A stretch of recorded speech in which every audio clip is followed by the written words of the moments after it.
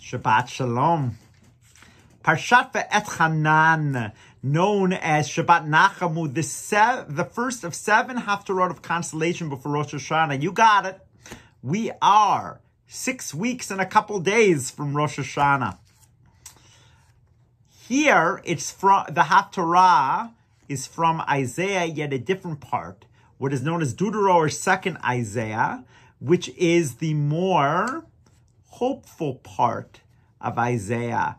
The first Isaiah is from the time right before the exile of the Jewish people by Babylon, right between Assyria and Babylonia. And second Isaiah is said to be written in exile, saying, Nachamu, Nachamu, Ami. Be comforted, my people. One of my favorite songs from my favorite Jewish band, Safam. But I don't just want to talk about the Haftarah today. It is about God returning, us returning from exile, very optimistic. But I'd be remiss if I didn't mention two key passages today in the Torah reading. The Ten Commandments, second recitation, and the Shema. Now, the Shema, we might even know better than the Ten Commandments because we say it twice a day in our liturgy, also before we go to bed. Ten Commandments, we make a big deal. We have a special trope because we only say it really three times a year in Exodus and Yitro, during the holiday of Shavuot, and during Parshat Va'etchanan. What's not as well known is the Ten Commandments used to be part of our daily liturgy before the Shema. So why did the rabbis in the Talmud get rid of the Ten Commandments?